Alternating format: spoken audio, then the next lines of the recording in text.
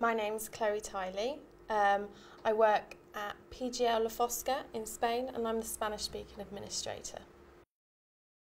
I love uh, talking to people and um, making sure everyone's all right. So I, I love I love seeing things come together and seeing people come together. The best thing about working seasons for me is arriving as 60 individuals onto a centre and leaving as 60 really good friends and just seeing the journey it takes people to to go from from not knowing anyone to suddenly having 60 in, instant friends that, that they're probably going to see again in their life. And you know I, I love seeing that and I love being part of what makes that happen.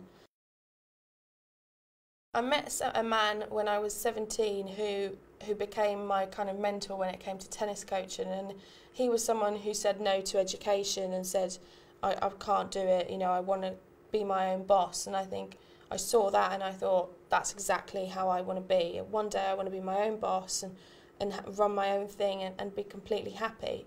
And although it turns out that that wasn't the direction that I was meant to go in at that point I know that that's how I got to PGL, and, and that's definitely been the turning point, if you like, because that made me say no to education, not in a, in a negative way, but definitely in a personal way. In five years' time, I definitely still see myself with PGL. I'd like to work my way up the ladder and I'd like to become involved in the development of the product that PGL offers. I love the product that um, is offered in overseas and the sailing schools and the windsurfing and the training that PGL offers staff. So I, I'd love to be more involved in that in the next few years and, and maybe influence it in some way.